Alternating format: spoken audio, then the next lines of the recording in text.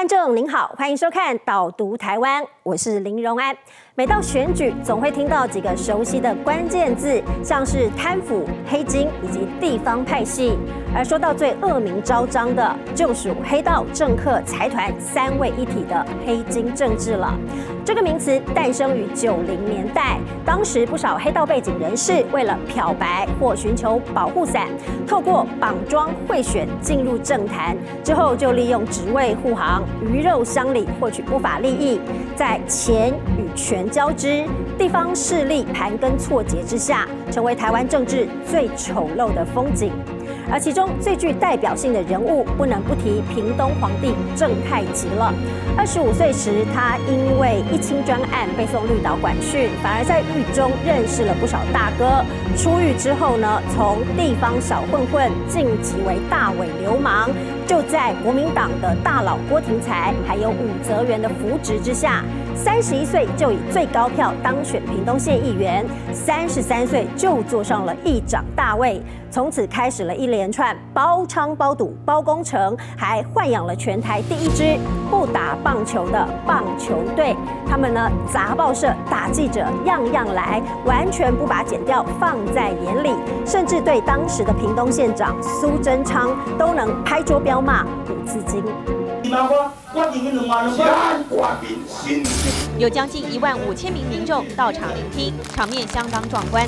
一九九三年十一月二十四日，屏东县长选举最后一场公办证监会，黑影重重。棒球队的人数在全场的群众虽然是少数，但是当你在鼓掌叫好的同时，是你个体在面对他的可能暴力相向的时候，你会胆怯。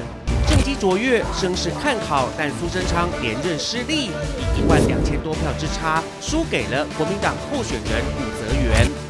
为武则元助攻的时任议长郑太吉，用黑道暴力碾压苏贞昌气势，让苏贞昌这场选举含冤吞败。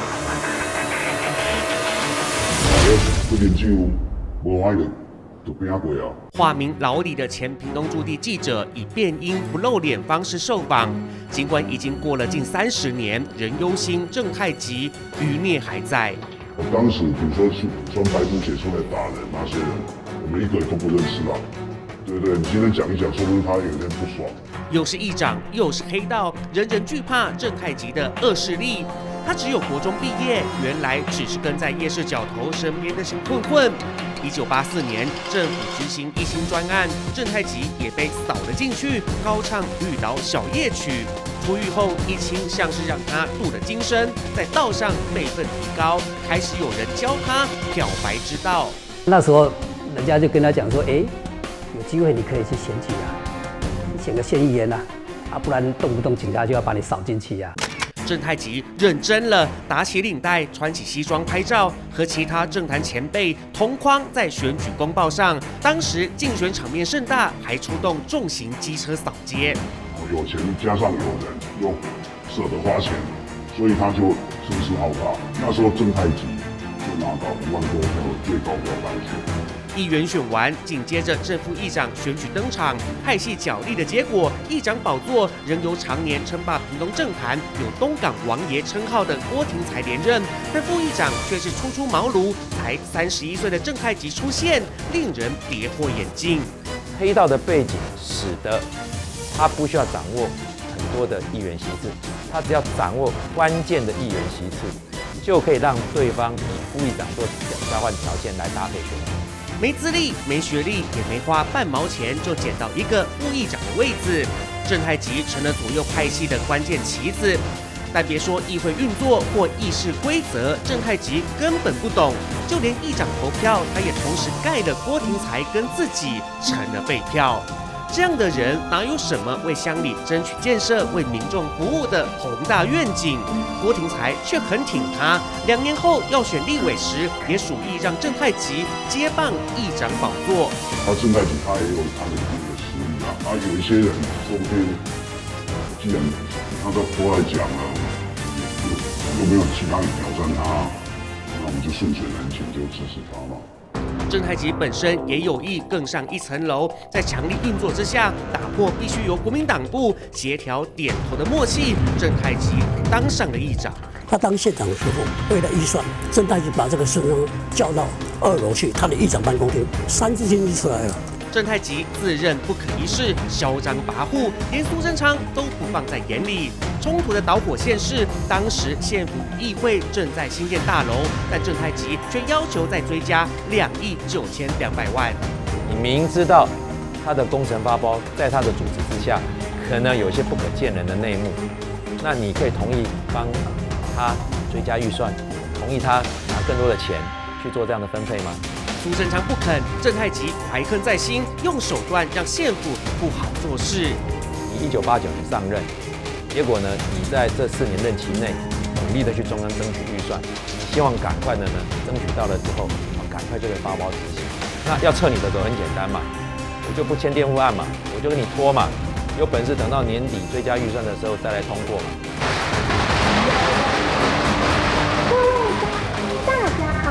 虽然府会关系不佳，但苏贞昌地方声望很高。一九九三年十一月县长选举更是全力拼连任。他跑遍了全县四百六十五个村里，每个村里的村里里大会不是晚上开哦，他都亲自从头到尾参加。苏贞昌最有名的选举是什么？可以还可以倒还倒嘛，真卡人秀情嘛，一讲准备票，人就知你无听，修。K 还 K，你就 K 了，但是你导火手真枪。努力突破对手的贿选攻势，苏贞昌的凌厉辩才，更是许多人期待在证件发表会一睹他的魅力。苏贞昌是很会演讲，他作为一个县长候选人，其他的县长候选人是比不上他的口才，所以乡亲们期待听他用他犀利的口才。把对手点嘎点下下，没想到与苏贞昌关系不睦的郑太吉，为了帮国民党候选人武泽元拉抬声势，竟然出动他的棒球队压制苏贞昌支持者的气焰。一群白布鞋的就就到场压阵。苏贞昌发言完，支持者热情嘛，就是鼓掌大声叫好嘛，结果没想到叫叫到一半了，然后后面拿椅子。白布鞋跟拿椅子把总统啊打得头破血流，所以整场的那个选举氛围就是说，因为有这样的一个暴力阴影，使得民进党的支持者在整个选举的氛围上就很憋、很闷。结果国民党就发文宣说，苏贞昌是自导自演啊。而正太级的棒球队又是何方神圣？他们出门会带了很呃球棒啊，甚至还会有一个人。呃，带个呃，提一个非常重的呃旅行袋，呃，那个旅行袋一般呃研判应该是枪支啊。就是一堆年轻人嘛，就拿木木棒，就球棒，然后穿着球鞋，嗯，通常是是穿黑衣服，然后在选举的时候打演讲场。这些郑太吉身边的小弟，可能是台湾第一代利用球棒姿势的棒球队。小弟则对郑太吉忠心耿耿。你假如加入郑太吉的集团，郑太吉见面礼就是一一颗满天星的手表，像一些比较肥沃的辖区分封给这这些棒球队的成员掌握。棒球队跟着郑太吉胡作非为，就连屏东最正派的刑警，面对这群恶煞也会倒吸一口气。检察官那个郑太吉好可怕，一出面的时候就带一个呃二十个小弟，那还有还有拿呃旅行袋，旅行袋里面应该是枪，所以连屏东呃最有作为的刑警都觉得非常恐怖。那更何况一般的市井小民，霸道凶狠、神出鬼没的棒球队，让向来以冲冲冲闻名的苏贞昌竞选连任之路极其狼狈。台湾有史以来几乎所有跟田海地的一些比较负面的选举手法，在这一场选举全部都看得到，贿选绑桩，还有造谣抹黑、黑道介入。采访介入，甚至连剪掉单位都介入，所以那时候孙昌贤不服气，他还跑去马祖要花师，最终，苏贞昌黯然卸任，离去时背后的红布条人控诉遏制选举是人民最痛之处。助选有功的郑太吉也让国民党吸收入党，而屏东在武则元主政与郑太吉鱼肉乡民之下，也有了黑道故乡恶名。一九九五年，民进党在屏东举办游行，高举布条写着“开狼放会，唔免惊，咱有议长做大兄”，讽刺意味浓厚。这些力量总和加起来，把苏贞昌打败了。但是虽然赢得一时的选举，但是为达目的，这不是不不择手段。到后来种下了因，种下了果，谁要来补偿？最后还是国民党是不要。武则元后，民进党由苏家全夺回执政，从此国民党在屏东难以翻身。这或许是国民党利用郑太吉引火焚身、始料未及的结果。郑太吉在地方只手遮天，还留下过高平溪杀人无罪这样的狂言。从政第五年，为了赌场利益，率众上门，就当着人家母亲面前枪杀了从小一起玩到大三十多年的好兄弟钟元峰。更离谱的是，记者没人敢写，检警无人敢办，直到案发第三天后，才在国会殿堂被立委揭露。据说总统李登辉听闻之后震怒大骂：“不要说正太极了，皇太极我都敢抓！”一声令下，屏东皇帝终于走到末路。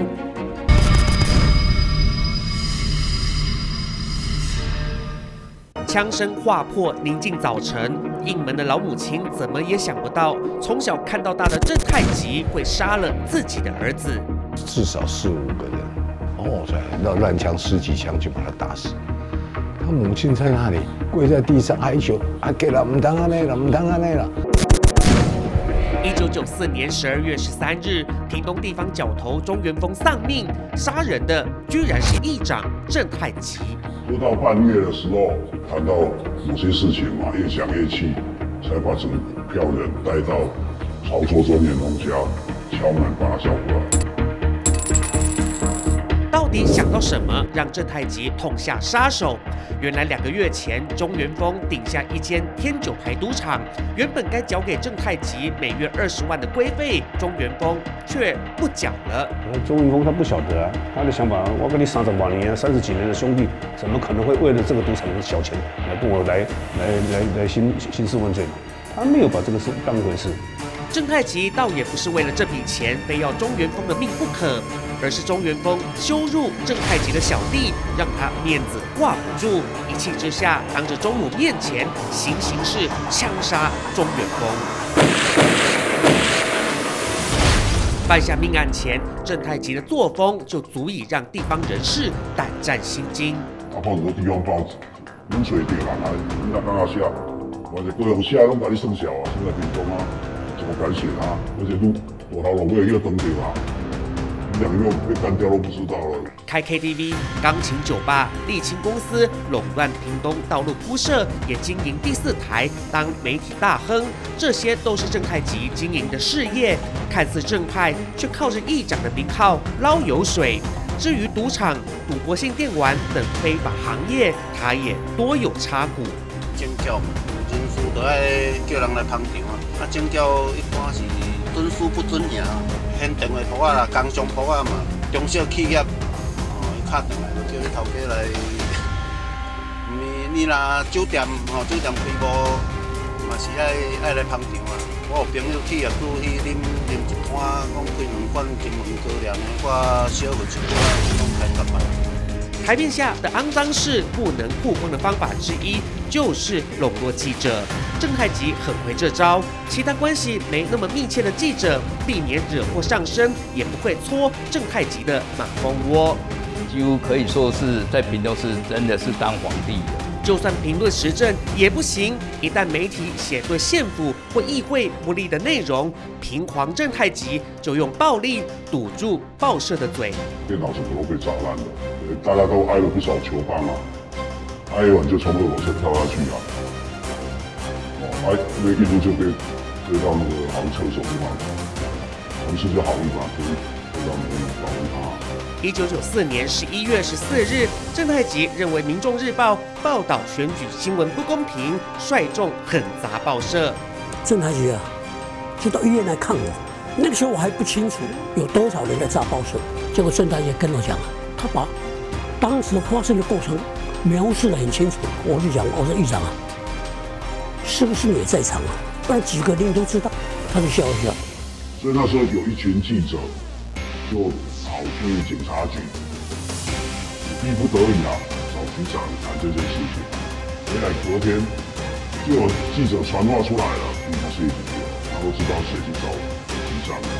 可悲的是，找警察得不到保护，屏东警方难道是拔了牙的老虎吗？议会不可能删掉地方警察的薪水，但是可以去砍你的超级警贴。警方的超勤津贴总共一亿多，全部删除。警察局长他也常常到郑太吉的官邸去跟郑太吉的爸爸泡茶啦，去拉近关系。有作为的警务人员，他都叫到议会去羞辱他们，透过他的第四台二十四小时的播放，重挫了这这些正派清流的。跟武则元妈吉议会又是他的人，靠紧箍咒，在警察头上，正太吉成了一只人人畏惧的怪兽，就连曾经提拔过的恩人也照打不误。他连议员都打了，王部长就怕他穿越了，而且不但民进党的被打哦，后来连国民党的或是过去有栽培他的议员，看不顺眼照打，就叫进去里面就打了。没想到郑太吉连人都敢杀，中原崩命案震撼屏东各界，媒体都知道杀人的是谁，但报道却只敢写与正姓人士有关，连警方办案也自服手脚。检察官带着警官跟差不多三十个队员去他家，因为这这搜索议长的大事，在那里僵持很久。郑太吉就非常凶恶的。呃，咆哮说：“你们怎么可以对九九十几万人口选出来议长这样的态度？”中间有电话来，有什么哈？那个要求说不要搜索哈。所以后来他门打开，要让检察官进去。检察官看回头一看，哇，说那些警察全部都不见了。我并不是说，呃，他们就事前就绕跑，而是到其他房间去搜索。直到三天后，嘉义选出的立委蔡世渊接获被害家属陈情，才在国会殿堂揭露郑太吉涉嫌杀人案，掀开潘朵拉的盒子。蔡伯啊，他们都叫我蔡伯。蔡伯啊，平东皇帝皇帝杀人，你也敢在这里讲啊？我报名做你的至上委员会的委员。果然没多久，蔡世渊就收到警告。那时候我还住在台北，我跟我儿子住在这里，在铁门口被喷漆。承办的检察官心里也承受莫大压力。为了小孩子能够平安顺利的长大，所以我们后来也决定把小妻小送在国外去成长。连您都害怕是不是？对呀，呃，这个案件难防。好在警政署非常重视正案，派刑事局十多名干员南下屏东支援。郑太吉自知议长这张保护伞可能快顶不住，假借北上参加诸葛亮的婚礼，开始寻求大咖保护，动起逃亡的盘算。他似乎在台中，他也见过武则言，也见过宋楚，到花莲，到台东，那他们也。希望寻求那边的议长的协助，他也想偷渡，但没人肯帮忙。郑太吉只好正面对决，主动打电话给检方，希望检察官陪同召开记者会，演一出喊冤的戏码。因为我们地检署有一些有关你的案子，你顺便到我们地检署来说明一下，那事后我们再来讨论怎么来开记者招待会。所以他就来地检署报道。这算是请君入瓮吗？是的，检方排兵布阵，调派大批警力，严防暴力闹事，只让郑太吉与律师进入地检署。人身安全获得保障后，检察官开始与郑太吉大斗法。我就先激他，我跟他说，前一天晚上钟元峰的母亲敢让我们做做测谎，那你敢不敢让我们做做测谎？他就说可以啊，我当然敢啊。郑太极的诡辩逃不过机器判读，测谎未过，他本人还没意识到正是皇朝即将崩解。他就说：“那既然现在不开记者会，那我要走了。”我就跟他说：“抱歉，议议长，照法律规定，我必须要拘押你。”曾发下狂语，过高平息杀人无罪。郑太极恐怕没想到犯下杀人重罪，天皇老子也保不住你。我最欢喜有功德啦，有破死人我有功德，伊无死人我我嘛蛮冤啦。台湾方呢，人见了头是我上甘愿尔啊，我千万看怪到我百不了钱啦。中母吓得不敢出庭，甚至没有律师敢接此案。最后由前民进党立委汤金泉担任被害人律师。历经五年半审理，两千年七月十四日，最高法院判决郑太吉杀人罪确定，八月二日执行死刑枪决，成为台湾第一个被枪决的议长。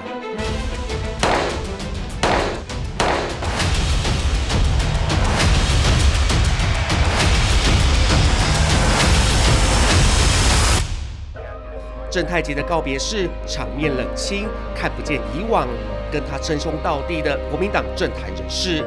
恶魔伏法，郑太吉为台湾的黑金政治下了最丑陋的注解。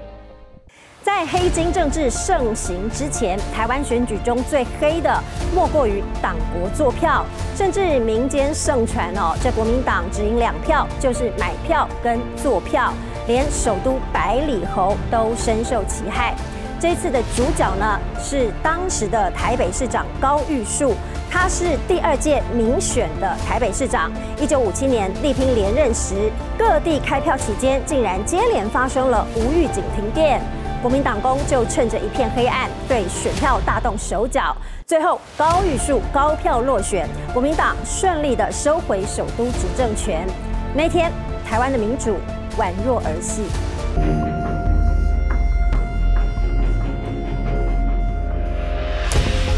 选举日投开票，突然间啪的一声停电了。停电的时候就可以上下其手。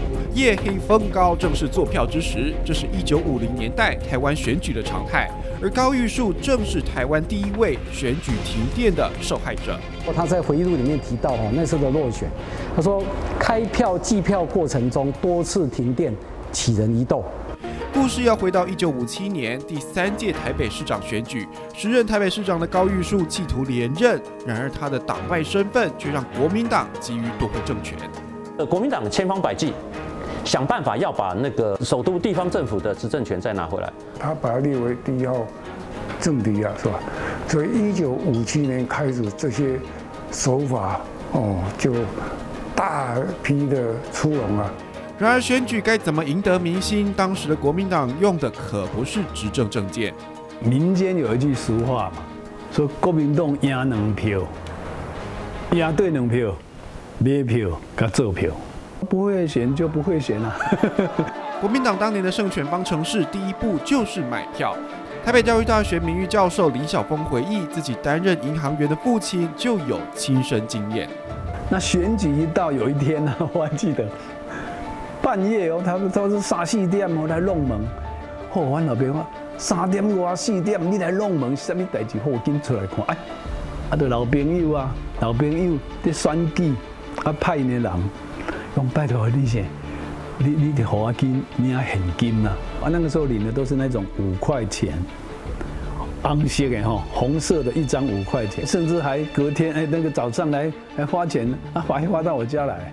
我那边讲，拿觉得我脏好厉害。虽说拿钱手短，但不听话的大有人在。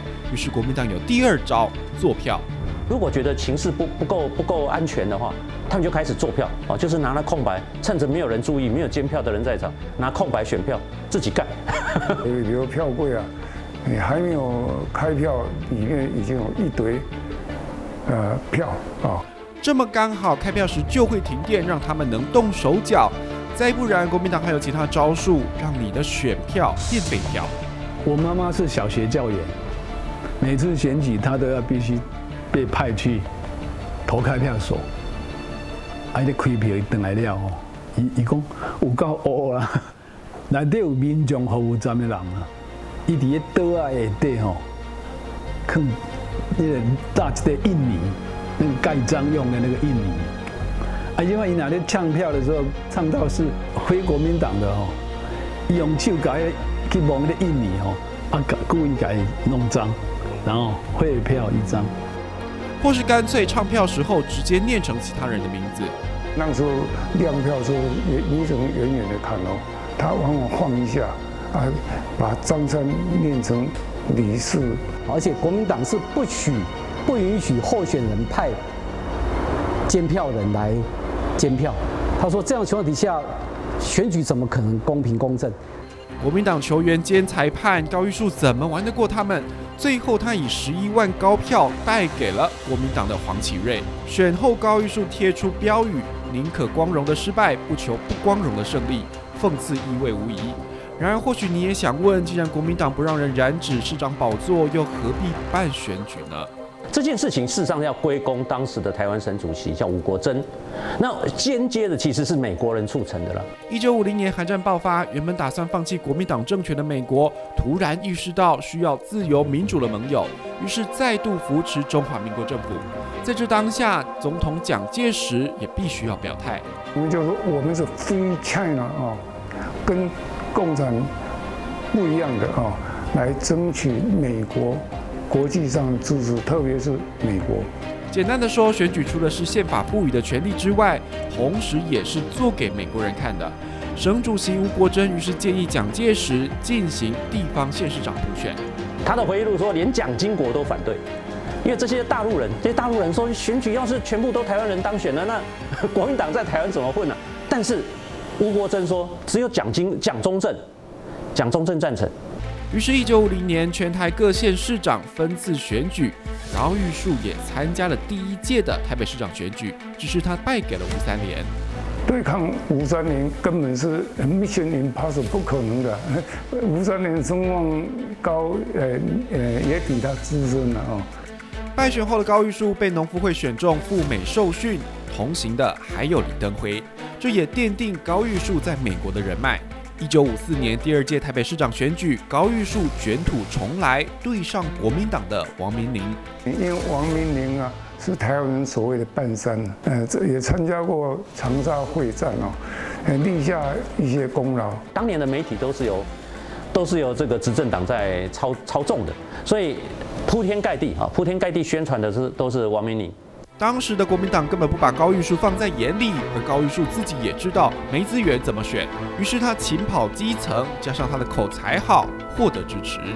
高玉树有一次在演讲，他对着群众他说：“我要把我要把总统府顶管那个国旗给救下来。” 你敢讲你救下来哦？我全场鼓掌哎！啊，然后啊有人来讲啊，要修嘞啊，你把迄国旗救来，你会死的，对吧？然后个刷一改，我要改插到南京城顶。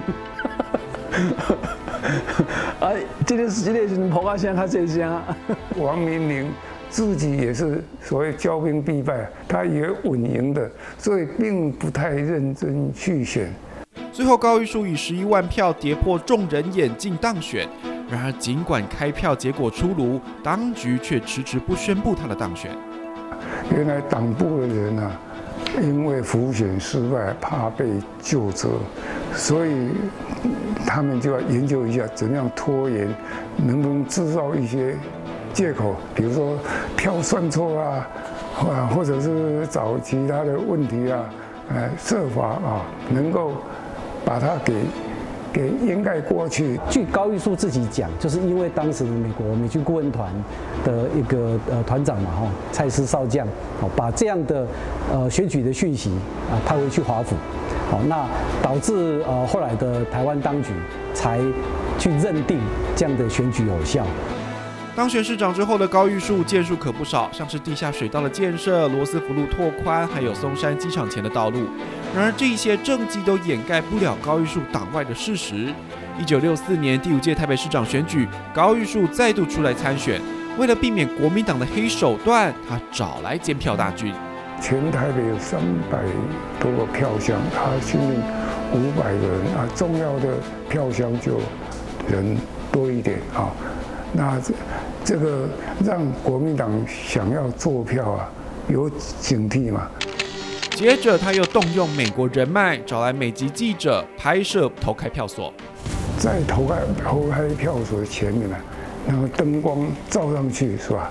然后不断的在摄影，所以对呃投开票所不得了啊！这美国人呢，那时候你知道那个美国人在台湾变成像神一样啊！美国人啊，这个拍出拍拍到的话还得了啊！更重要的是，当年韩国、土耳其陆续发生坐票引发政变，让美国出言警告国民党不准再做黑手，这才让高玉树再度登上台北市长宝座。我我们今天对高玉树的历史评价是，这个是第一代啊，第一代党外里头的的的重要的领袖人物。然而，尽管高玉树能打破黑箱做票的手段，党国机器却没有收敛，反而变本加厉，玷污神圣的民主选票。其实党国做票积习已久，但民众始终敢怒不敢言。直到一九七七年，终于出事了。那是刚被国民党开除的许信良，以党外身份参选桃园县长。没想到一对老夫妇投票时，身为监票员的中立国小校长范江心灵，却擅自进入了圈票处，还被目击疑似把原本要投给许信良的票，用印泥涂抹成废票。没想到检警到场了，最后却让范江直接翻墙离开。民众得知之后怒不可遏，直接冲进警局，翻桌纵火，还推倒震爆车，也引爆了台湾史上第一次抗议选举舞弊的群众运动——中立事件。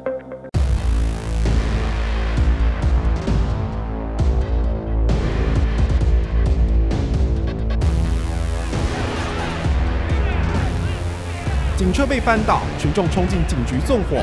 一九七七年桃园县长选举舞弊案件爆发，选举史上前所未有的中立事件。中立事件的爆发，就是台湾人民第一次为了反这个抗议选举舞弊产生的群众运动。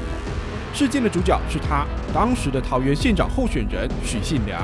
许信良呢，他从年轻的时候他就立志要当总统。他从中学开始啊，念高中的时候就就对政治非常的感兴趣。徐信良是桃园客家人，就读正大政治系时加入了国民党。他进了政治系之后，就积极的参与啊，积极参与学生的那个政治性社团，其实就是国民党在正大的呃党部社团啊，哈，三民主义学会这样。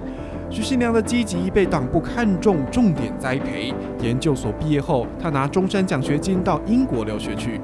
国民党没想到的是，我我中央党部给你终身奖学金，结果你去英国学坏，左派的东西他也看到了，然后加上当时的氛围啊，整个从北美到欧洲，学生运动啊。开了世面的许信良回国后满腔热血，到国民党中央党部工作，而他也用国外的见闻回台检讨台湾权贵财阀掌握政治经济的状况，写下台湾社会理分析，登在《大学》杂志上。这篇文章里面，他们去分析的这些呃各式各样不同的阶层，包括旧式地主啊、农民、知识青年，他们建议执政当局不可忽视这些具有潜力的人力资源，应该要利用这些人力资源来从事社会建设。那这篇文章登出来之后，相当的轰动。这篇文章一出，不仅轰动知识分子，当时深陷退出联合国威胁的台湾也掀起改革风潮。国民党隔年推动催台青，重用青壮派。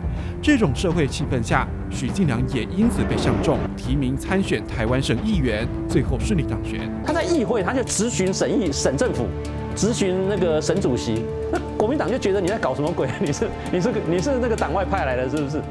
许信良甚至因为出言要帮学生平安保险调高赔偿额度，被国民党党纪处分，这让他实在心灰意冷。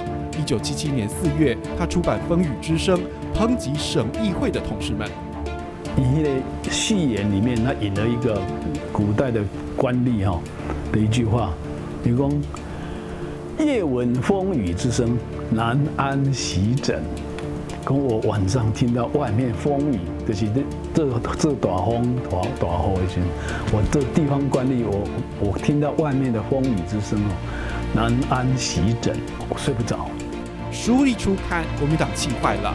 年底桃园县长选举，放弃许信良，转空降提名调查局出身的欧宪宇，同时开除许信良的党籍。你怎么激昂慷慨呢？我还记得的竞选总部哦，挂出了黄花岗七十二烈士的照片。那个时候还讲了一句话哦，说我此生不得为国民党员，但是我此心终身为国民党党员。脱党参选的许信良很会制造话题，用台湾民谣《四季红》改编歌词成“大家来选许信良”，成为台湾选举史上第一首竞选歌。他是很会选举，而且很会很有群众魅力。在那个时候，翻转戒严时期政治严肃的态度，许信良选得很欢乐，把竞选总部挂上气球，弄得跟嘉年华一般，深受婆婆妈妈的喜爱。每天埋锅造饭，食材还是旁边市场摊贩沿路丢上竞选车的。而许信良更频频走向基层，到农村把自己写的《风雨之声》送给农民。他们开始透过这些书，他们可以去用我们今天的话讲，这个叫爬粪，或者哇我我或者是呃揭露啊，我揭露一些什么东西，我踢爆一些什么东西。那这个过去在国民党的或者是主流媒体你是看不到嘛？国民党的媒体主流媒体看不到这些东西嘛？这一些与众不同的选举手法，影响直到今天的候选人都还在使用。许信良也因此获得高名气。但尽管胜券在握，他们却有一个摆脱不掉的阴影，就是国民党的坐票黑手。竞选非常激烈，过程非常激烈，而且民心这个非常振奋嘛，所以不断的这个这个国民党不断打压，所以选前这个就知道他一定会作弊，所以我们就不断鼓励人民要起来护票。每个投票所都派三个监票员在外面，这个这监票对。然后我我们有巡逻队伍。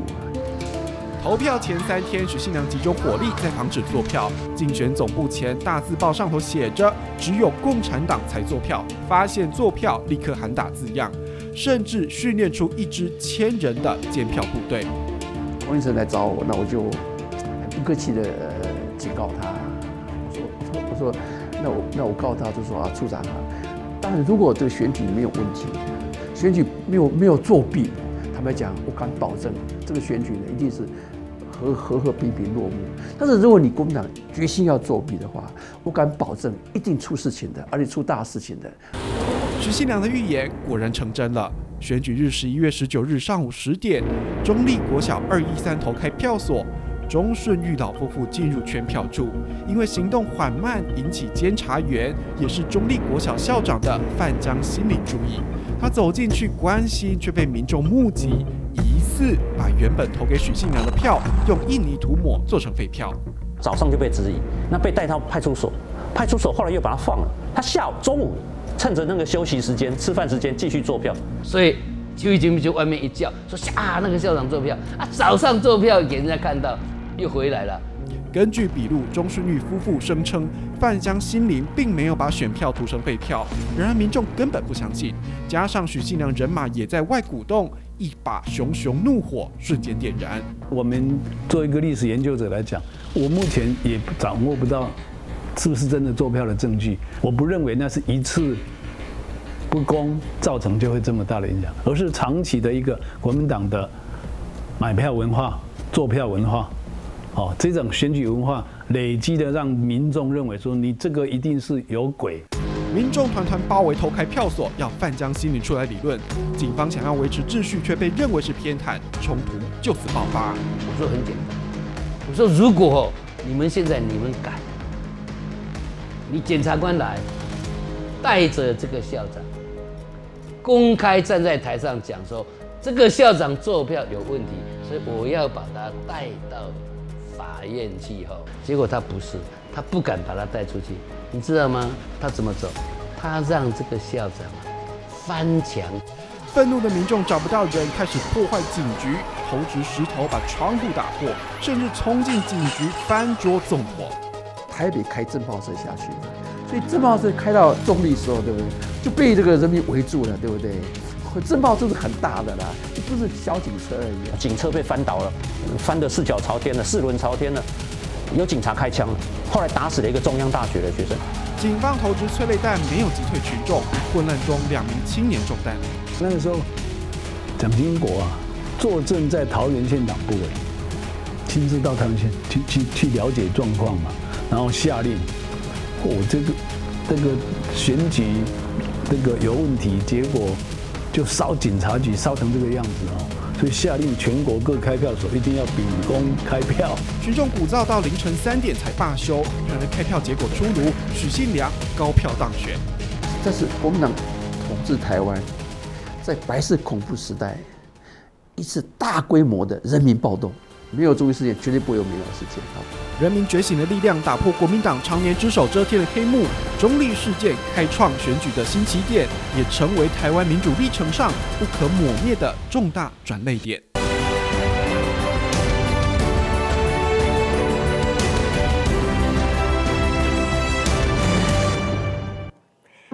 舌尖上的历史》带您到立法院的私房餐厅康源，一上菜就能让场内火爆对杠的立委们放下剑拔弩张，拿起筷子，不分党派共商台湾 B。而每一任院长还有自己独钟的孤味哦，像王金平心头好是芋泥鸭，苏家全最喜欢花生猪脚，而尤喜坤最爱的就是东坡肉。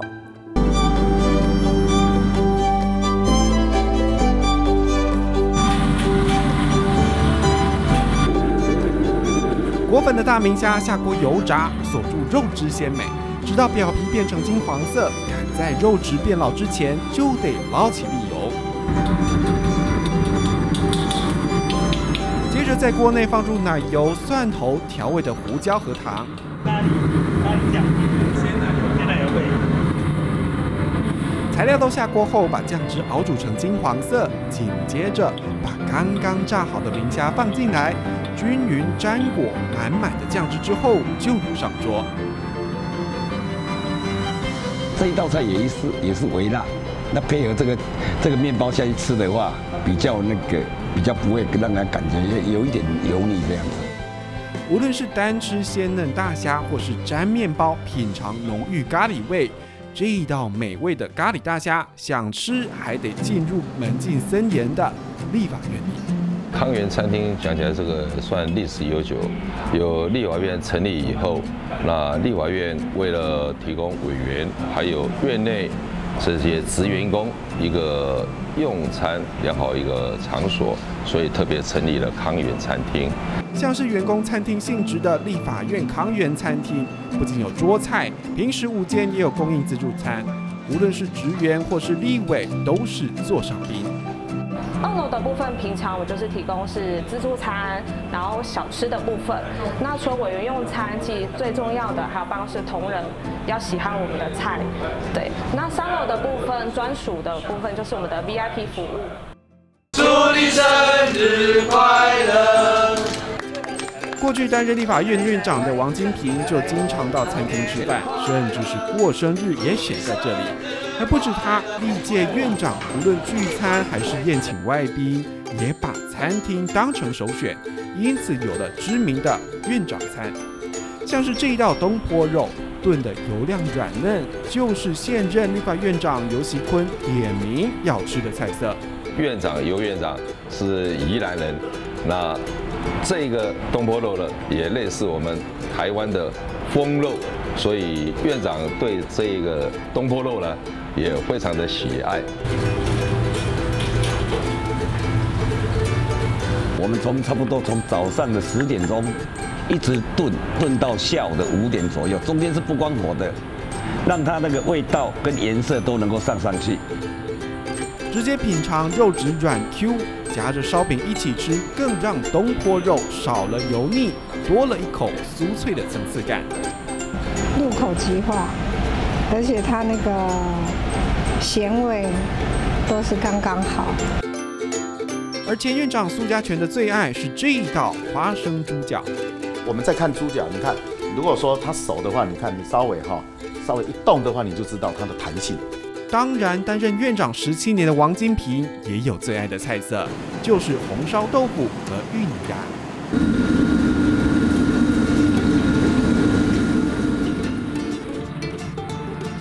整块饼放入油锅低温慢炸，边炸师傅还在表面淋上热油。这你如果油温一高的话，里面是冷的，外面已经快要焦掉了。这火候得靠师傅经验，而这制饼更是手工反复。鱼头先下去蒸，蒸烂以后，跟我们这个鸭肉和在一起，然后再再包起来，然后下下下去炸。没多久，整块芋泥鸭饼炸出金黄色泽，捞起来，一刀切下，酥酥脆脆。这块芋泥鸭饼正是从王金平最爱吃的芋泥鸭发想。制成创意料理，而这些美食不仅是院长爱吃，也吸引许多民众想要品尝品尝。那选举到宴请相亲团的部分，分为有北中南。那北中南对于餐点的部分喜好，当然就是不一样了。对，那像南部当然有一些可能餐点就要稍微甜一点。高丽菜干和花椒汁一起炖煮，接着全烫牛肉。把熬煮的酱汁淋上菜肴，摆上新鲜花椒，最后淋上滚烫热油，让花椒气味瞬间散发。这一道椒汁肥牛就是许多民众来到康源的必点菜色。我喜欢这一道椒汁肥牛，因为它吃起来有花椒的香味，然后高丽菜很脆，那这个也很适合下饭。不仅台湾人爱，二零一五年中国观光客大批来台观光时，许多中国游客就把立法院当成必游的打卡景点，也到立院餐厅尝试这民主殿堂的滋味。看见就是在在那个会场，会场，呃，几个几个立法委啊，企业动手。我们云南人特喜欢的辣椒，今天我们已经吃到，在这几天我们几乎都吃得很清淡。陆客的民主体验喜欢呛辣，而立院内的火爆场面在餐桌面前却都平息下来。像是一九九五年，民进党主席施明德就曾和新党的赵少康一起在立院喝大和解咖啡。当年的国会还是以国民党一党独大，民进党因此想和新党合作，喊出政治大联合、社会大和解。新党这次选的不错了啊，选了二十一席立法委员。所以将来，呃，我们加起来，甚至可以在立法院过半。两党从原本对立互呛变成盟友，并计划联手力推施明德当立法院院长，扳倒国民党。很可惜啊，哦，当时只差一票啊，所以新党的二十一票是全部照承诺，通通投给了施明德。而后立法院委员也都效法，像是陈昭荣和李正南，前一天为了谁先站上发言台，一场内拳脚相向，隔一天就一起坐下来喝咖啡。小妹都无牛嘴啦，小拍都无牛手啦，啊，以和为贵嘛。朋友加一个重视，比减一个更加好。政治上的算计不一定会成功，但美食却能让大伙放下红白蓝绿。一道道藏身立法院的美食担负重任，让在议场内火爆冲突的立委们放下剑拔弩张，拿起筷子共商台湾未来。